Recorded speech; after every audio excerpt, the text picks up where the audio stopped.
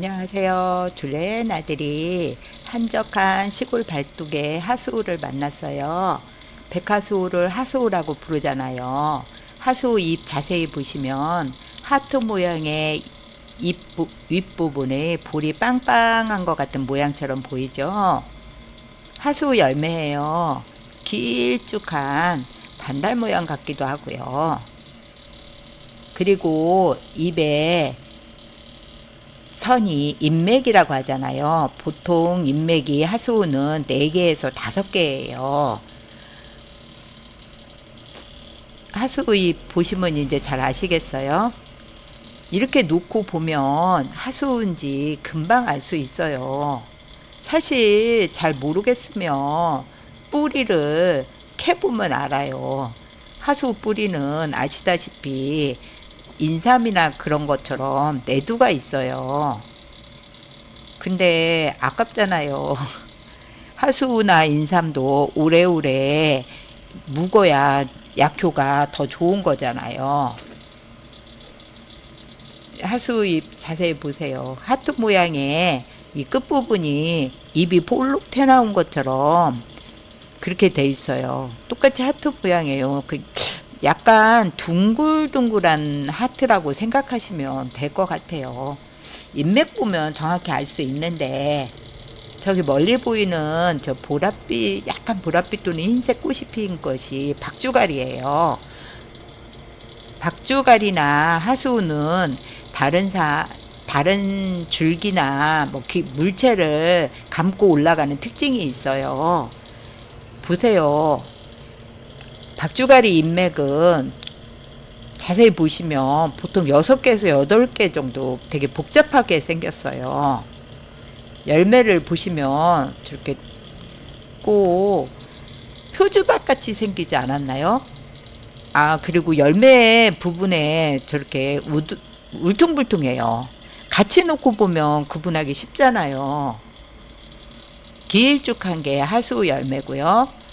동글동글하고 불, 불룩 태나오고 울퉁불퉁한 게 박주가리 열매예요. 제가 어릴 때는 이 박주가리 열매를 윗부분을 이렇게 따면 하얀 즙이 나와요. 근데 그 부분을 이렇게 따내고 껍질을 벗기고 속을 먹었어요. 근데 제가 어떤 맛이었는지 기억나지 않아요. 그런데 아마 그냥 생각에 아마 저 맛이 무슨 단맛이나 쓴맛 이런 게 아니고 그냥 상큼한 맛? 배가 고파서 먹지 않았나 싶어요. 지금 보시면 이렇게 길쭉한 건 하수예요. 하수 열매 잘 알아보실 수 있을 거예요, 이제. 많은 사람들이 하수와 박주가리를 굉장히 궁금해해요. 비슷한 거 아닌가? 이렇게 하는데 사실 하수와 박수가의 특징이 어, 다른 줄기를 타고 올라가거나 다른 물체를 타고 올라가는 특징이 있어서 그러잖아요.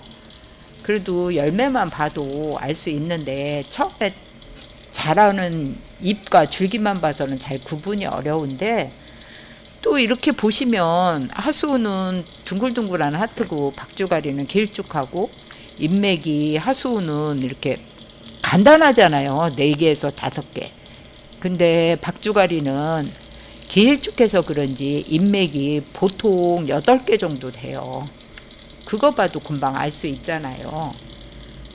박주가리 열매는 익, 익으면 저절로 터지는데 명주실 같은 하얀 솜털 모양의 씨앗이 바람이 불면 민들레처럼 어디론가 날아가 버려요. 박주가리 꽃말이 먼 여행이라는데 그래서 멀리 날아가는 게 아닌가 싶기도 해요. 우- 하- 박주가리 열매를 보면 도깨비 방망이처럼 울퉁불퉁 하잖아요. 이제는 어디 열매를 보면 금방 알 수 있어요. 근데 보통 잎만 봐도 이제는 다 쉽게 알아볼 수 있을 것 같아요.